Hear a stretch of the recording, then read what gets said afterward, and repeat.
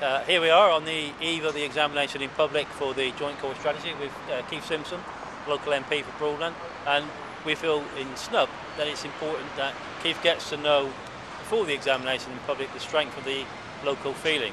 And in here we have a petition of 3,200 people. It's been renewed over the summer um, to counter any um, duplication of previous uh, petitions. It's now authenticated in terms of deduping, um, and we believe this is a genuine response to the planned development in and around the North East Triangle. Uh, so therefore we'd like you to accept it and uh, to make sure Eric Pickles gets it. Yes, I um, certainly So he needs, needs to know what's going on. Yes. Yeah. Okay? Thank you, thank you very much in, in, indeed. I formally accept um, this petition. Um, as you know, the, um, both the Conservatives and the Lib Dems said before the general election that any development of an eco town would take seriously into account the views of, a, of local community.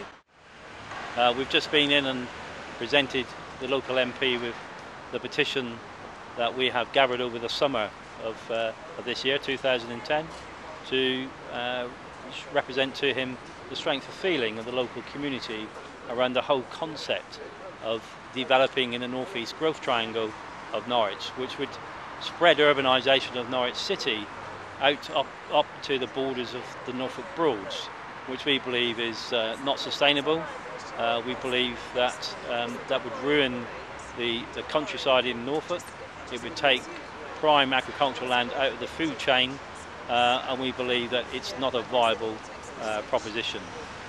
Uh, that belief is, is, uh, is recognised by the thousands of people who have signed our petition, um, and we believe that instead of uh, concentrating new growth and new housing in large developments, it should be spread across the whole county um, and therefore reinforce existing communities and towns that are, are dying on their feet because they, people are leaving. Uh, uh, and we have completed the petition following best practice guidance and we believe that this is a valid uh, document that hopefully will now be presented to um, Grant Shapps, the Housing Minister, and indeed the Minister of State, Eric Pickles, at Communities and Local Government. And that's what we've asked uh, Keith Simpson to do today. And we've also asked him um, to table three parliamentary questions about the whole, um, the whole joint core strategy and why it's proceeding and using public money in a time of economic crisis.